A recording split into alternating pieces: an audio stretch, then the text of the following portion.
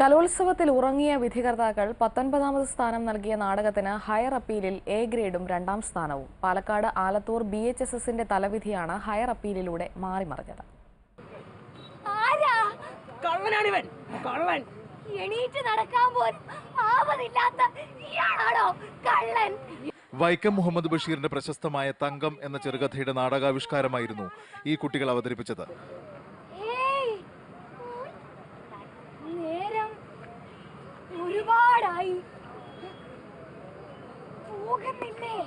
സമൂഹം ഒറ്റപ്പെടുത്തിയ വിരൂപയായ തങ്കവും ഒരു യാചകനും പരസ്പരം താങ്ങാകുന്നതാണ് നാടകത്തിന്റെ പ്രമേയം.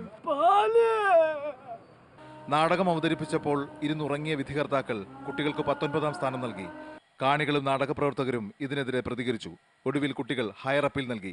വിധി വന്നപ്പോൾ രണ്ടാം സ്ഥാനവും എ ഗ്രേഡും ഡി പി ഐയുടെ മുമ്പാകെ ഞങ്ങൾ ചെന്നു. ഞങ്ങളുടെ പ്രശ്നങ്ങളൊക്കെ അവർ ഞങ്ങൾ പറയി പറഞ്ഞായിരുന്നു. അത് കഴിഞ്ഞ് കുറച്ച് സീനൊക്കെ അവതരിപ്പിക്കാൻ പറഞ്ഞു ഞങ്ങൾ ചെയ്തു. എന്നിട്ട് അവർ പറഞ്ഞു നിങ്ങൾക്ക് നീതി ലഭിക്കുന്ന രീതിയിൽ നല്ലൊരു ഇത് ഞങ്ങൾ ചെയ്തോളാം. ഏഷ്യാനെറ്റ് ന്യൂസ് നേരത്തെ ഈ വാർത്ത റിപ്പോർട്ട് ചെയ്തിരുന്നു. അർഹതയുള്ളവർക്ക് അംഗീകാരം കിട്ടിയേ മതിയാവും. പിന്നെ അവിടുത്തെ പ്രകടനങ്ങളൊക്കെ എടുത്തത് ഏഷ്യാൻ ആണ്. ഞങ്ങൾ ഒരുപാട് നന്ദി പറയുന്നു. കലോത്സവ നഗരിയിൽ നിന്നും സനീഷിനൊപ്പം ബിനുരാജ് ഏഷ്യാനെറ്റ് ന്യൂസ്.